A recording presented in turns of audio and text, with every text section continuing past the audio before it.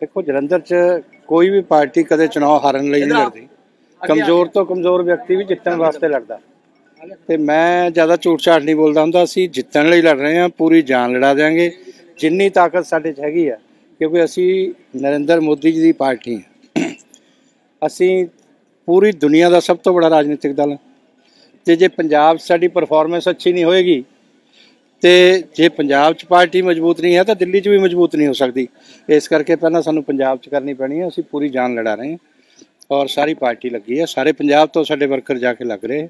ਕਿਹਦੇ ਨਾਲ ਮੁਕਾਬਲਾ ਮੇਨ ਕਹਿੰਦੇ ਦੇਖੋ ਮੁਕਾਬਲੇ 'ਚ ਤੁਹਾਨੂੰ ਖੁਦ ਨੂੰ ਪਤਾ ਕਿ ਇਸ ਵੇਲੇ ਕਾਂਗਰਸ ਵੀ ਆਪਸ 'ਚ ਲੜੀ ਜਾਂਦੇ ਆ ਔਰ ਛੱਡ ਛੱਡ ਕੇ ਜਾ ਰਹੇ ਆ।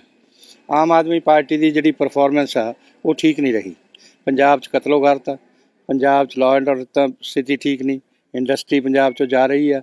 ਇਨਵੈਸਟਮੈਂਟ ਆ ਨਹੀਂ ਰਹੀਆਂ। ਇਸ ਕਰਕੇ ਉਹ ਠੀਕ ਨਹੀਂ ਹੈ। ਪਰ ਮੈਂ ਇਹ ਸਮਝਦਾ ਕਿ ਜੇ ਪੰਜਾਬ ਦੇ ਅੰਦਰ ਲਾਅ ਐਂਡ ਆਰਡਰ ਠੀਕ ਕਰਨਾ ਤਾਂ ਅੱਜ ਲੋਕ ਪਿੰਡਾਂ 'ਚ ਵੀ ਕਹਿਣ ਲੱਗੇ ਕਿ ਯੋਗੀ ਚਾਹੀਦਾ। ਜੇ ਮੋਦੀ ਨਹੀਂ ਆਏਗਾ ਤਾਂ ਯੋਗੀ ਕਿੱਥੋਂ ਆ ਜਾਏਗਾ?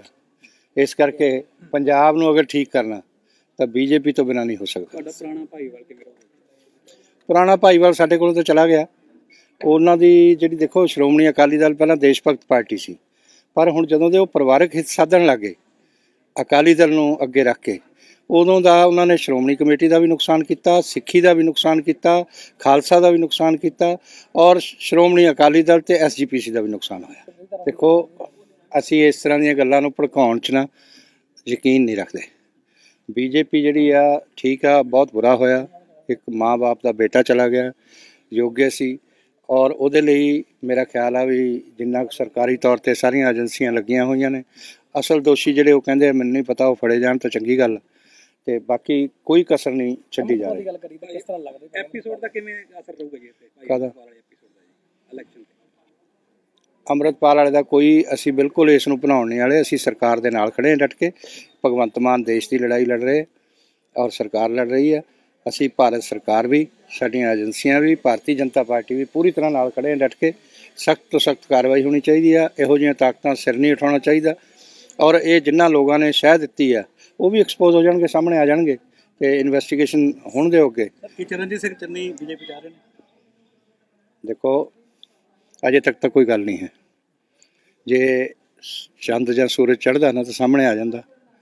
ਬਾਕੀ ਮੈਂ ਇਹਨਾਂ ਗੱਲਾਂ ਤੇ ਬਹੁਤ ਜ਼ਿਆਦਾ ਟਿੱਪਣੀ ਨਹੀਂ ਕਰਨੀ। ਮੈਂ ਤਾਂ ਇਮਾਨਦਾਰੀ ਦੀ ਰਾਜਨੀਤੀ ਯਕੀਨ ਰੱਖਦਾ। ਮੈਂ ਰਾਜਨੀਤੀ ਦੋ ਤਰ੍ਹਾਂ ਦੇ ਲੋਕ ਆਉਂਦੇ ਆ। ਇੱਕ ਤਾਂ ਆਉਂਦੇ ਆ ਜਲਦੀ ਅਮੀਰ ਬਣਨ ਲਈ, ਇੱਕ ਆਉਂਦੇ ਆ ਆਪਣੇ ਅਸੂਲਾਂ ਲਈ। ਸਾਡੀ ਪਾਰਟੀ ਇੱਕ ਵਿਚਾਰਧਾਰਕ ਸੰਗਠਨ ਹੈ ਮੈਂ ਵਿਚਾਰਧਾਰਾ ਨਾਲ ਜੁੜਿਆ ਹੋਇਆ। ਨਾ ਕਿ ਮੈਂ ਨਿੱਜੀ ਕਿਸੇ ਨਾਲ ਜੁੜਿਆ ਹੋਇਆ, ਨਾ ਹੀ ਇਹ ਇੱਕ ਆਤਮ ਮਾਨਵ ਦਰਸ਼ਨ ਯੁਗ ਪੁਰਸ਼ ਦੀਨ ਦਿਆਲ ਉਪਾਧਿਆ ਜੀ ਦਾ ਵਿਚਾਰ ਹੈ ਜਿਹਨੂੰ ਲੈ ਕੇ ਅਸੀਂ ਚੱਲ ਰਹੇ ਹਾਂ। ਉਹ ਕੀ ਆ? ਜਿਹੜਾ ਆਖਰੀ ਵਿਅਕਤੀ ਹੈ ਜਿਹਦੇ ਸਿਰ ਤੇ ਛੱਤ ਨਹੀਂ, ਜਿਹਦੇ ਤਨ ਨੂੰ ਕੱਪੜਾ ਨਹੀਂ, ਜਿਹਦੇ ਪੇਟ ਨੂੰ ਰੋਟੀ ਨਹੀਂ। ਉਹਦੇ ਭਲੇ ਲਈ ਅਸੀਂ ਸਾਰੇ ਵਰਕਰ ਸਿਰ ਜੋੜ ਕੇ ਬੈਠਦੇ ਹਾਂ। ਔਰ ਉਸੇ ਲਈ ਅਸੀਂ ਸੰਘਰਸ਼ ਕਰ ਰਹੇ ਹਾਂ। ਮੈਂ ਨਿੱਜੀ ਕਿਸੇ ਨਾਲ ਵੀ ਨਹੀਂ ਹੈਗਾ। ਔਰ ਨਾ ਮੈਂ ਇਹਨਾਂ ਦਾ, ਸਾਡੇ ਲੀਡਰ ਇੱਕੋ ਹੀ ਨੇ, ਨਰਿੰਦਰ ਮੋਦੀ। ਵਿਚਾਰਧਾਰਾ ਇੱਕੋ ਹੀ ਹੈ ਇਕਾਤਮ ਆਤਮ ਮਾਨਵ ਦਰਸ਼ਨ। ਔਰ ਦੂਸਰੇ ਕਿਸੇ ਨਾਲ ਸਾਡਾ ਕੋਈ ਸੰਬੰਧ ਨਹੀਂ।